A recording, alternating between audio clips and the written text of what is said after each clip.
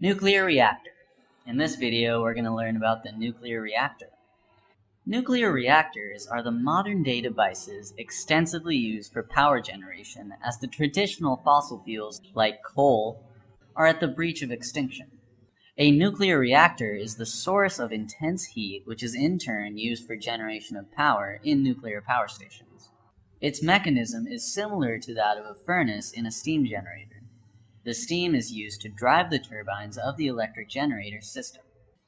A nuclear reactor consists of three crucial components fuel elements, moderator, and control rods.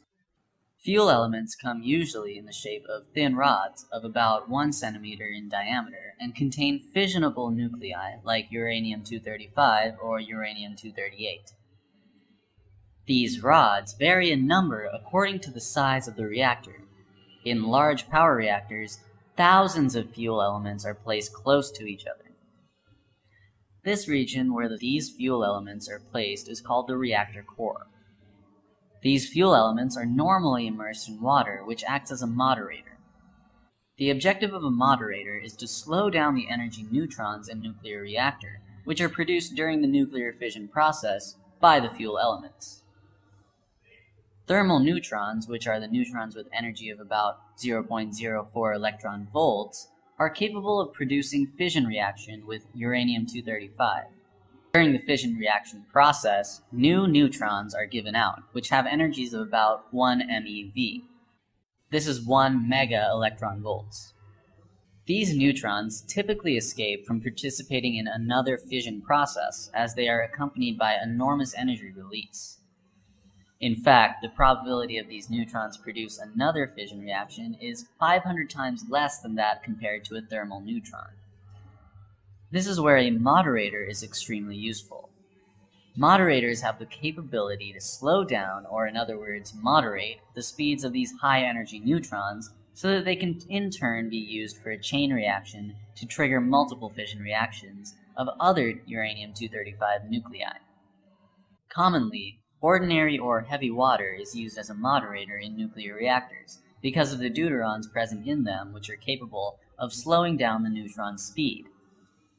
Water molecules in the moderator are useful in slowing down the high energy neutrons which leave the fuel element after nuclear fission. These high energy neutrons collide with water molecules, thereby losing out on some energy with every collision and therefore slowing down substantially. A new fission reaction can now be triggered using this slow neutron by striking it with a fuel element. The third and most prominent part of a nuclear reactor are the control rods. In order to get a steady output of energy from the nuclear reactor, every single fission reaction should trigger another fission reaction and ensure the availability of spare neutrons released to trigger the chain reaction. By controlling the number of spare neutrons available at any given time, the rate of nuclear fission chain reactions can be controlled. This control on the fission reaction can be maintained using control rods.